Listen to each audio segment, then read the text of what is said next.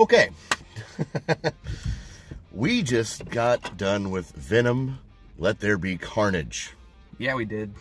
This is a spoiler free first reaction to that movie. Um, do you want to go first? Um, sure.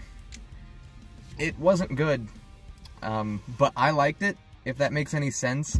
It wasn't a good movie, but I enjoyed it because it's exactly what I expected it to be, and it's exactly what I wanted it to be in the terms of stuff between Eddie and Venom. Carnage was something. He was there. Yeah, he was there for sure. But yeah, no, I I couldn't get into Carnage with this movie, but I so you know, for the people who are expecting a really awesome Carnage story, uh, lower your expectations a, li- a little bit. But um, I enjoyed it for what it was. So, what do you have to say about this? I'm going to say the first thing I ever said the moment we saw Cletus Kasady at the end of the first Venom movie. He is Sideshow Bob. That's what he is. Eddie Brock is Bart Simpson. that is what is happening in this movie. Oh my god. It's Um, it's literally copy and paste. Take the the the sideshow Bob and Bart Simpson storyline, copy and paste it, and put Venom skin flesh around it. That's what this movie is. Now that doesn't make it upsetting. No, this was fairly an entertaining movie. Exactly what you said. I got exactly what I thought I was going to get, and that was because the first Venom movie lowered my expectations Yep. of what to expect for a Venom movie. Now, with that being said, I think what I just watched was the best of clips of a much richer story. Like there, like there's there's so much story that should have been fleshed out there that was not, but it got us from point A to point B, and point B would be no spoilers. Watch the mid credit scene. Yeah. I think that's that's pretty much what this movie was. Andy Serkis did not add anything to this movie. Him directing it, it could have been the last person. It could have been anybody. Like it just he didn't add anything special like I thought he would. I thought Andy Serkis, all right, that sounds cool for some reason. but it wasn't any different. It was the same thing. And Carnage was there.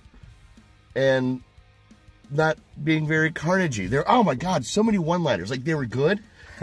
like some of- some of them were really freaking funny. Then other ones were just not. Like they just wrote down every joke and said, "We're going to put them all in there and just see what sticks." There are genuine laughs. I will say that. I had a really good time with the Venom and Eddie Brock relationship.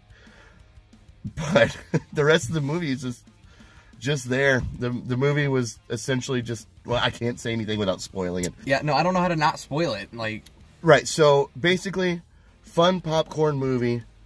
Go see it. I, I, I, th- th- th- th- there's mixed reviews. People are loving it, hating it, or middle of the road. I'm middle of the road.